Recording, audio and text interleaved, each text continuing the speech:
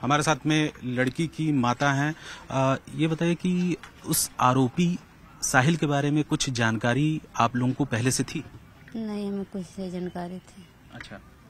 सिर्फ़ मुझे मुझे कल थाने में पता चला कि साहिल नाम का लड़का मारा है। तो कुछ आपको आपकी लड़की ने आपकी बेटी ने बताया था पहले? नहीं बताया।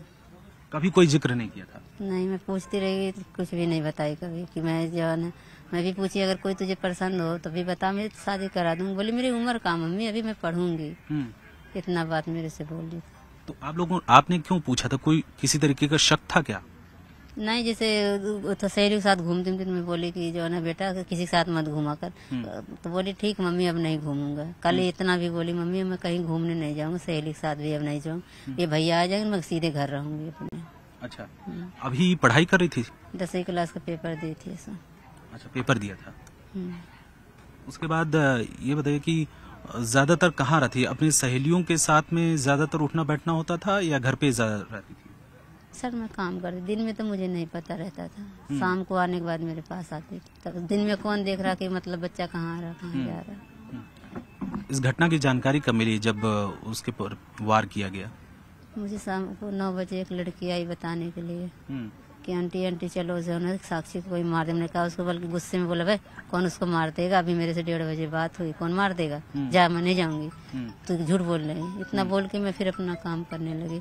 तब सर पुलिस वाले आए कह रहे चलो तुम जय भगवान के ऑफ़िस के। मैंने कहा सर किस लिए चलो? हम्म, चलो तुम्हारा काम है। तब मुझे पुलिस वाले ले गए। हम्म, ताकि मुझे बॉडी भी नहीं दिखाए। हम्म।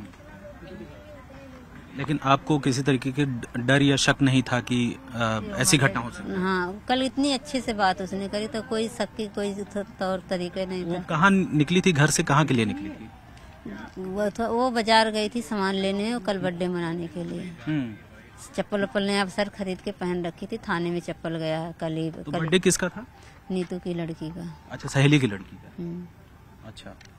वहीं के लिए सामान केक को खरीद के बल्कि नहीं तो बोले कि बेटा चल रोटी बना लेते हैं। बोले अभी नहीं चलो बाज़ार से आ- बाज़ार में घूम के आते हैं तब रोटी बनाएँगे तब बर्थडे मनाएँगे केक कटेगा। इतना बोली है। हम्म। अच्छा अब क्या चाहती हैं? उस आरोपी की गिरफ्तारी तो हो गई है।